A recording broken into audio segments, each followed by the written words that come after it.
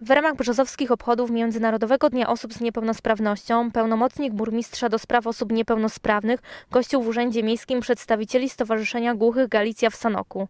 W naszym regionie organizacja ta działa od 2015 roku. Wchodzi w skład Polskiej Federacji Głuchych i zajmuje się poprawą losu osób niesłyszących.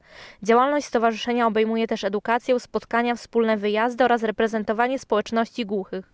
Członkiem można zostać każdy. Każda osoba głucha lub słabo słysząca. Również mogą wstępować osoby słyszące, ale jako osoba wspierająca.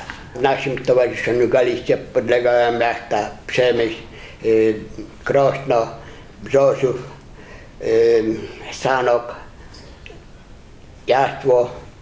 No jeszcze małe tam drobne rzeczy. Do tego stowarzyszenia jest około 35 członków. Ale jest jeszcze nadzieja, że będą wstępować do naszego stowarzyszenia. Nasze działania były podejmowane w różnych kierunkach. No, na przykład e, załatwienie lokalu dla naszego stowarzyszenia.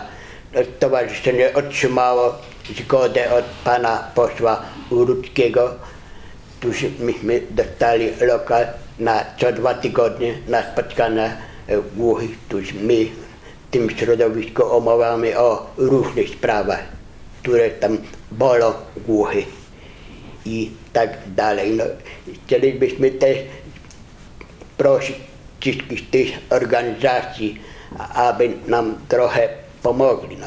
My te działania robimy bardzo dużo. No, zrobiliśmy pierwszą rocznicę y, mm, naszego powstania w Załużu, które przyjechało aż ze wszystkich stron Polski.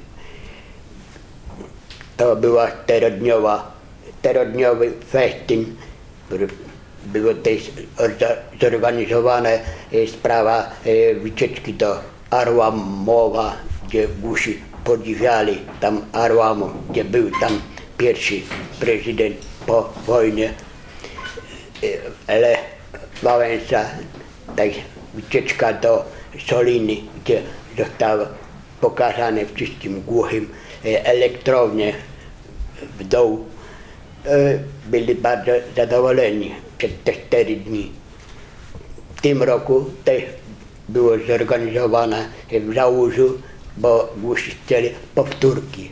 No i dlatego myśmy powtórzyli za wspaniałą organizację. Też w tym roku zorganizowałem wycieczkę do Przemyśla, do Kraczycina, do muzeum, tam gdzie przewodnik opowiadał o duchach, o wszystkich tam malarstwach, rzeźbiarzach, y, y, hrabiów i tak dalej.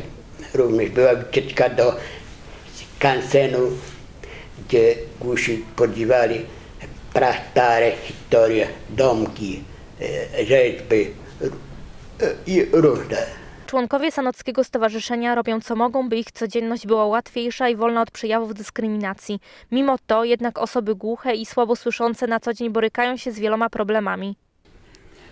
Największym problemem wszystkich głuchych to brak tłumaczy polskiego języka migowego w szpitalach, przychodniach, urzędach miasta, policji, straży pożarnej, pogotowiu.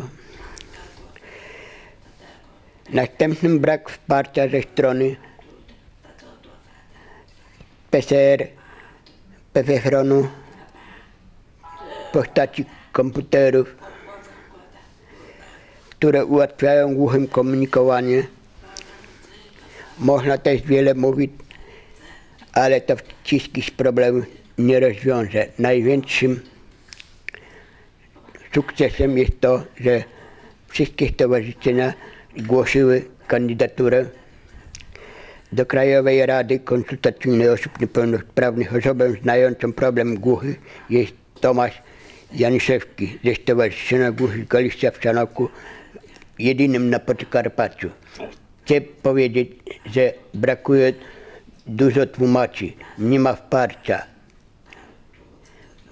Jest bardzo trudna sytuacja głuchych w Polsce, że e, system języka migowego jest trudnym dla głuchych. Oni chcą, żeby e, polski język migowy był dla wszystkich. Dzięki uchwaleniu w 2011 roku ustawy o języku migowym i innych środkach komunikowania się, sytuacja osób głuchych i słabosłyszących w Polsce zmienia się na lepsze. Jednak pomimo podejmowania różnych rozwiązań prawnych, według raportu zespołu do spraw głuchych przy Rzeczniku Praw Obywatelskich z 2014 roku, społeczna sytuacja osób z dysfunkcją słuchu jest nadal niekorzystna. Obszarem wymagającym ogromnego zaangażowania organów państwa, samorządów oraz partnerów społecznych jest edukacja osób głuchych i słabosłyszących.